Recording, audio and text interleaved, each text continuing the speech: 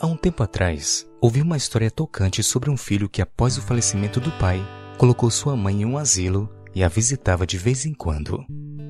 Um dia ele recebeu uma ligação do asilo informando que ela estava morrendo. Diante do aviso, o filho foi correndo para ver sua mãe antes que ela falecesse. Ao chegar no lugar, ele perguntou qual seria o pedido que ela teria no final de sua vida.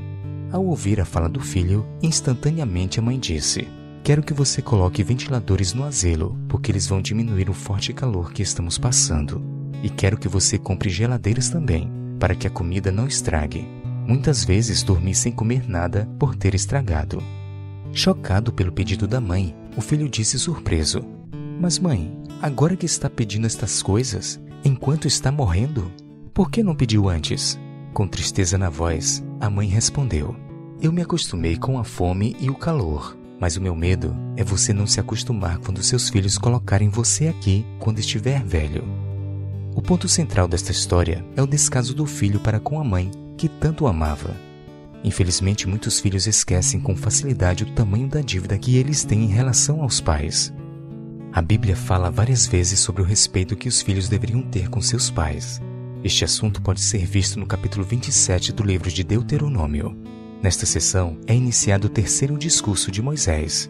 Dentre as várias maldições apresentadas neste capítulo, uma refere-se ao desprezo pelos pais. Veja o verso 16 que diz: Maldito aquele que desprezar o seu pai ou a sua mãe, e todo o povo dirá: Amém.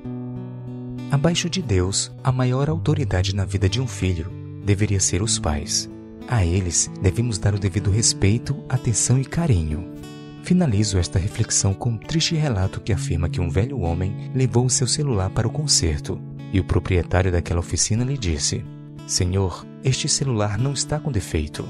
Então o velho homem, com lágrimas nos olhos, lhe respondeu: Se este celular não está com defeito, então por que os meus filhos não me ligam? Diante dos conselhos bíblicos, devemos dar o amor aos pais que eles merecem e jamais desprezá-los sem dar atenção e carinho que eles merecem. Obrigado por assistir este vídeo. Se inscreva no canal. Compartilhe com seus amigos. Ative as notificações